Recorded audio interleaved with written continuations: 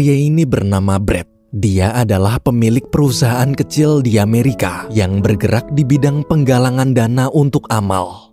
Pagi itu, ketika sedang makan di restoran bersama karyawan kepercayaannya, nggak ada angin, nggak ada hujan, tiba-tiba karyawan Brad bilang kalau dia mau mengundurkan diri. Karyawan itu menjelaskan di umurnya sekarang, dia bisa menghasilkan uang jauh lebih besar dibandingkan bekerja di tempat Brad. Atau mungkin dia bisa mendirikan perusahaan penggalangan dana seperti Brad juga, tapi jauh lebih sukses karena dia masih muda. Mendengar kalimat barusan, Brad seperti tertampar. Sepanjang malam, dia tak bisa tidur memikirkan obrolan tadi siang. Brad teringat masa-masa saat dia baru mulai merintis bisnisnya. Dia jadi kepikiran kenapa sudah puluhan tahun lamanya menjalankan bisnis. Sampai sekarang hidupnya masih belum sesukses kehidupan teman-temannya yang lain. Di momen itu, Brad merasa gagal. Semalaman dia terus overthinking. Brad ingat waktu reuni, ternyata teman-teman dekatnya selama kuliah dulu kini semuanya telah sukses. Ada yang jadi sutradara terkenal di Hollywood, ada yang punya perusahaan besar, ada yang bekerja di pemerintahan dan sering masuk TV, bahkan ada yang sudah pensiun menikmati uang investasinya. Ketika Brad membandingkan dengan hidupnya sekarang, dia merasa menjadi pecundang. Dia sangat iri. Padahal sebenarnya keluarga Brad bukanlah keluarga miskin. Walaupun bisnisnya bisnis kecil, tapi stabil. Pekerjaan istrinya juga cukup bagus. Dia punya mobil, rumahnya bagus, sekolah anaknya lancar. Pokoknya dia nggak kekurangan sama sekali. Dia hanya iri. Iri saat membandingkan hidupnya dengan hidup teman-temannya. Esok hari, Brad pergi mengantarkan putranya yang bernama Troy ke kota Boston untuk memilih dan mendaftar kuliah.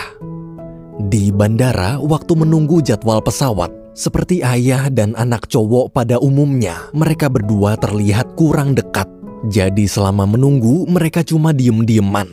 Brad lalu mencoba mengajak Troy ngobrol. Agar putranya bangga, Brad pun bilang gimana kalau mereka menukarkan tiket pesawat kelas ekonomi mereka menjadi tiket kelas VIP. Mendengar itu, Troy tersenyum senang karena dia belum pernah naik pesawat kelas VIP. Tapi pas dicek, customer service bilang kalau tiket Brad nggak bisa ditukar gara-gara dia belinya pakai kupon diskon. Brad pun kecewa dan malu. Ketika naik pesawat, Brad kembali overthinking. Dalam hati dia bertanya, apa teman-temannya yang sekarang sukses pernah naik pesawat ekonomi sepertinya juga. Brad ingat saat reuni, teman-temannya itu pernah cerita kalau mereka punya pesawat jet pribadi atau minimal naik pesawat kelas VIP. Lagi-lagi Brad iri. Ia lalu teringat dulu waktu kuliah, dia adalah salah satu mahasiswa pintar yang punya ambisi jadi orang sukses. Sedangkan istri Brad adalah wanita sederhana dan selalu mensyukuri apa pun yang dia miliki sekarang. Dia tak pernah menuntut lebih. Tapi gara-gara istrinya tak pernah menuntut lebih, semenjak menikah, Brad merasa ambisinya jadi hilang. Berbeda dengan istri teman-temannya yang sama-sama punya ambisi karena istri mereka juga wanita sukses. Brad yakin salah satu faktor kesuksesan temannya pasti ada pengaruh dari istri. Sesampainya di kota Boston, Brad langsung memesan hotel untuk istirahat. Malamnya waktu makan di restoran, Brad bertanya besok Troy mau mendaftar ke kampus mana. Troy menjawab, dia ingin sekali masuk Universitas Harvard jurusan kesenian. Karena gurunya di SMA pernah bilang, dengan keahliannya bermain piano, Troy sangat layak masuk universitas sekelas Harvard. Apalagi di Harvard juga ada musisi idolanya yang sekarang jadi dosen. Mendengar cerita barusan, Brad tersenyum bangga. Dia baru tahu kalau selama ini putranya jago bermain piano. Di hotel, Brad terus memandangi putra satu-satunya itu. Dia tak menyangka anak yang dia besarkan dari kecil sekarang punya masa depan cerah. Ia mulai membayangkan bagaimana saat putranya nanti lulus dari universitas sekelas Harvard dan jadi musisi terkenal. Brad yakin meski teman-temannya kaya, anak mereka belum tentu jadi anak hebat seperti anaknya. Seketika rasa iri dalam hati Brad seakan terobati. Esok hari Brad mengantarkan Troy wawancara pendaftaran di Universitas Harvard. Brad tak sabar menunggu bagaimana hasil wawancaranya. Tak lama kemudian, Troy akhirnya keluar. Namun Troy memberitahu kalau ternyata dia salah jadwal. Harusnya jadwal wawancaranya kemarin dan sekarang pendaftaran sudah ditutup. Mendengar itu, Brad kecewa. Di luar gedung, Brad terus memikirkan bagaimana cara agar putranya tetap bisa masuk Harvard. Brad lalu menelpon sang istri dan bertanya apa istrinya punya kenalan dosen atau alumni atau orang dalam yang bisa membantu memasukkan Troy ke Harvard. Istri Brad kemudian menyarankan bagaimana kalau minta tolong ke salah satu teman kuliah Brad bernama Craig karena Craig bekerja di pemerintahan. Mendengar nama Craig, Brad bimbang. Dulu waktu pertama kali merintis bisnis amalnya, Brad pernah meminta Craig jadi investor, tapi sikap Craig terasa seperti merendahkannya. Tak hanya itu, ketika Brad mengirim email untuk menanyakan kabar, Craig tak pernah membalas seakan sudah sombong dan lupa teman. Setelah bertahun-tahun menjauhinya, Brad gengsi kalau sekarang harus minta tolong ke Craig lagi. Namun meski hatinya menolak demi putranya bisa masuk Harvard, Brad terpaksa harus menelan gengsinya. Ia lalu menelpon salah satu temannya untuk minta nomor Craig. Di telepon itu, saat sedang basa-basi menanyakan kabar, teman Brad memamerkan kehidupan suksesnya. Kini dia tinggal di rumah besarnya di Hawaii dan tinggal bersama dua pacarnya yang cantik. Rasa iri di hati Brad pun kembali muncul. Tapi sekarang bukan waktunya iri. Setelah dapat nomor Craig, Brad langsung menelponnya. Sayangnya nomor Craig sedang tak aktif, jadi Brad meninggalkan pesan suara dan meminta Craig menelponnya balik jika ada waktu. Besoknya, ketika sedang sarapan di restoran, Craig menelpon. Brad di situ menceritakan masalahnya di Harvard kemarin, kemudian meminta tolong Craig untuk membantu putranya agar bisa tetap diizinkan mendaftar, walaupun jadwal pendaftaran sudah ditutup. Sebagai teman lama, Craig tak keberatan. Tak hanya itu, karena kebetulan besok lusa dia juga sedang ada urusan di kota Boston. Craig pun mengajak Brad ketemuan dan makan malam di restoran. Mendengar Craig mau membantu, Brad sangat senang. Ia yakin 100% anaknya pasti akan masuk Universitas Harvard. Brad lalu mengajak Troy pergi ke toko buku. Di sana, Craig kembali menelpon dan mengabarkan kalau dia berhasil membujuk pihak Harvard untuk mengizinkan Troy wawancara besok. Setelah telepon ditutup, Brad pun memberitahu kabar gembira tadi. Melihat ekspresi bahagia putranya, Brad ikut senang. Ia lalu membayangkan di masa depan nanti, Troy bisa jadi musisi terkenal dan mengangkat derajat keluarganya.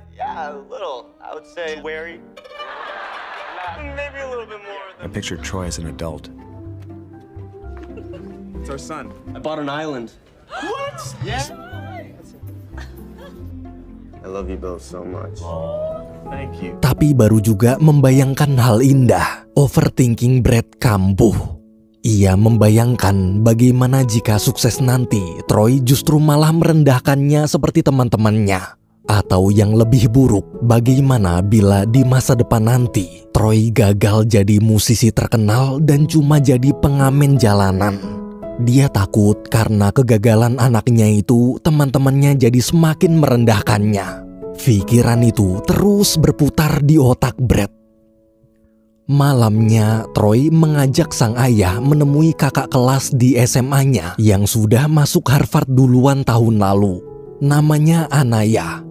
Troy cerita dulu dia dan Anaya juga pernah jadi satu tim orkestra di acara amal.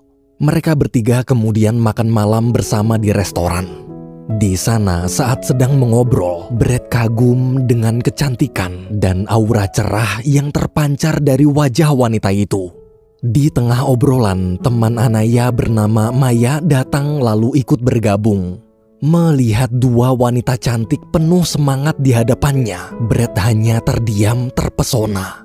Dia ingat dulu waktu pertama kali bertemu, istrinya juga punya aura cerah seperti mereka. Pokoknya penuh gairah. Namun setelah bertahun-tahun menikah, gairah itu sekarang sudah redup. Brad lalu teringat teman yang dia telepon waktu minta nomor Craig kemarin. Temannya bilang kalau dia tinggal di rumah mewah di Pulau Hawaii bersama dua pacar cantiknya. Seketika pikiran liar Brad pun muncul. Jika seandainya dia sukses dan punya banyak uang, pasti dia juga bisa punya dua pacar cantik seperti temannya. Dan seandainya punya, dia ingin kedua pacar cantiknya itu seperti Anaya dan Maya, bukan seperti istrinya di rumah. Selesai makan, Anaya mengajak Brad lanjut ngobrol ke bar seberang jalan bersama teman-teman mereka. Mendengar ajakan itu, dalam hati Brad ingin sekali ikut, tapi karena Troy belum cukup umur dan besok harus wawancara pendaftaran, Brad terpaksa menolak tawaran Anaya. Di hotel setelah Troy tidur, Brad diam-diam pergi ke bar menemui Anaya.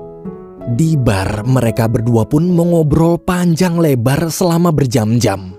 Gara-gara mabuk, Brad jadi curhat tentang hidupnya yang sangat menyedihkan dibanding dengan hidup temannya yang sukses. Brad berharap dengan dia curhat, Anaya mungkin akan menyemangatinya seperti istri teman-temannya, bukan seperti istrinya di rumah. Namun di luar dugaan, Anaya justru tak terlihat simpati sama sekali. Dia malah bilang hidup Brad enak. Di luar sana ada banyak sekali orang yang hidupnya jauh lebih miskin, bahkan sampai kesulitan makan. Bisa jadi orang yang Brad anggap hidupnya sempurna, ternyata punya banyak masalah besar. Jadi jangan terus-menerus membandingkan diri kita dengan kesuksesan orang lain. Jangan samakan kehidupan kita dengan olahraga yang harus bersaing untuk menang, karena hidup bukanlah kompetisi.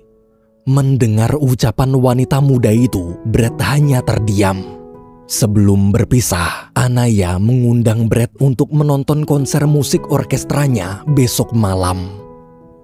Keesokan paginya, Brad mengantarkan Troy menemui dosen Harvard sekaligus musisi idolanya untuk wawancara. Sambil menunggu, dia tak lupa mengabari istrinya tentang kondisi Troy sekarang. Tak lama kemudian, setelah semua proses selesai, Troy memberitahu berkat bantuan orang dalam yang ayahnya hubungi, dia jadi disambut dengan baik dan yakin akan diterima. Brad sangat senang Akhirnya putra kebanggaannya bisa kuliah di universitas bergengsi. Mereka berdua lalu pergi mendaftar ke Universitas Staff juga untuk berjaga-jaga bila seandainya pendaftaran Troy di Harvard gagal. Di sana, Brad cerita kalau TAF adalah universitas tempatnya dulu kuliah. Ketika Troy sedang berkeliling, Brad mampir ke suatu ruangan untuk menyapa dosen pembimbingnya dulu.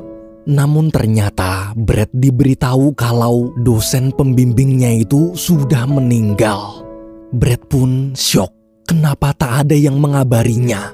Dia merasa teman-temannya pasti menjauhinya karena tak sesukses mereka dan tak mengabarinya karena menganggap dia bukan orang penting. Malam hari di hotel, Brad bersiap-siap menemui Craig. Waktu sampai restoran, pelayan memberikan Brad meja dekat pintu dapur yang berisik suara orang lalu lalang. Tak lama kemudian, Craig datang. Melihat orang penting seperti Craig, pelayan menyambutnya dengan ramah dan memberikan meja spesial di tengah. Bahkan si pelayan juga menawarkan Craig minuman spesial. Setelah pelayan pergi, dua teman lama itu mulai mengobrol mengenang masa lalu. Tak lupa, Brad juga berterima kasih karena Craig telah membantu Troy masuk universitas paling terkenal di dunia. Menit demi menit berlalu, mereka berdua terus bertukar cerita. Hingga tiba-tiba obrolan mereka berubah. Mereka mulai membicarakan kabar teman-teman lain yang sekarang sudah sukses. Sambil tertawa sombong, Craig mulai membongkar satu persatu aib rahasia para sahabatnya itu. Craig cerita sebenarnya yang sukses cuma dia sendirian, sedangkan teman-teman lainnya hidupnya tak seindah yang Brad bayangkan. Masalah mereka besar-besar.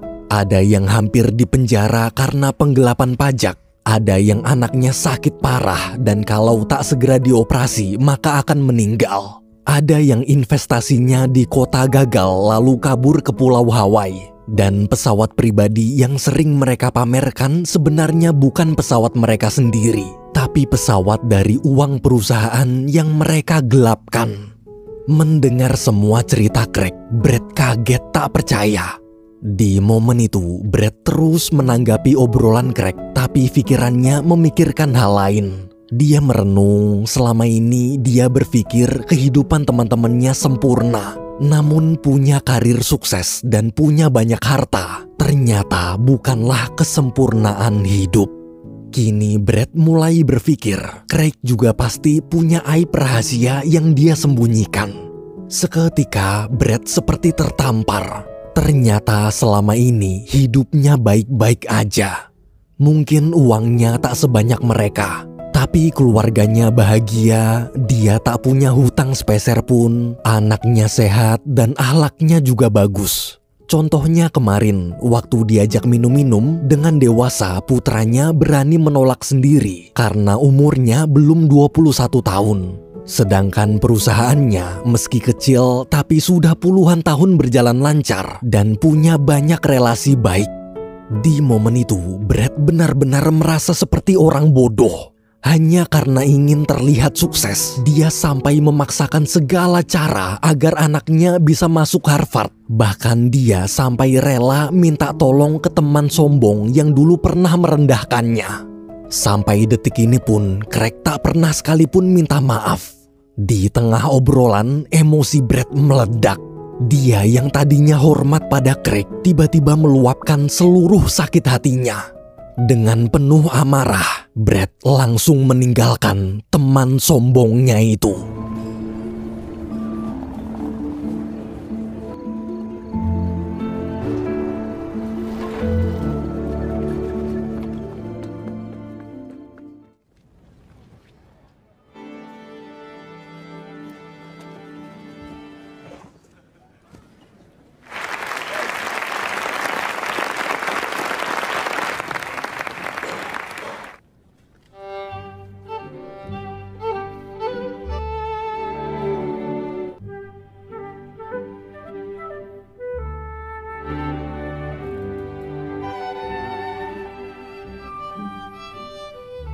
Still did love the world. I could love them and never possess them.